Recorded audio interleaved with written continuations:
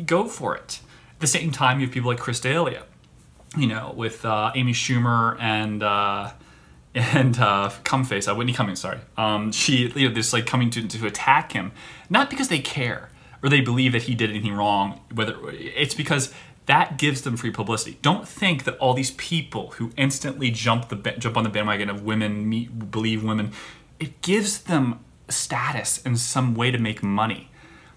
It's not just going on a comedy tour, selling an album, going on a Netflix special to make money. They like sell time and space on TV and they make money for it. They like create a job for themselves by being this. It's like Rose McGowan was trying to do that. You know, like I'm a spokesperson for. I'm the spokesperson for the Me Too movement. That's like it's a million dollar position, and that's that's just, you just build this thing, and it's like this is who you are. By the way, you someone pays me five million dollars a year to be this thing, and it's like your qualifications are irrelevant. It's just like you were first. You just decided to make yourself this thing, and people just go along with it.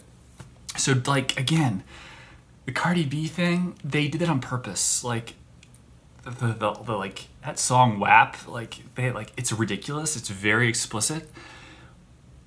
The sexual insinuations and everything about just like I love big dick and I love my wet put like it's just like yeah okay it's it's designed to because they're losing money. The they don't know what else to do. They're they're really worried that the content. Uh, if you think about music today, like it sucks. It sucks. Like they, they, so like. I mean, no one's gonna tell me that Harry Styles is, is quote unquote like a super talent per, per like watermelon sugar. Give me a break, dude. Like, come on. He's just like selling sex, selling a good looking guy. But it, it's it, it's it's they're worried. They're like, this is the best way to do it. They're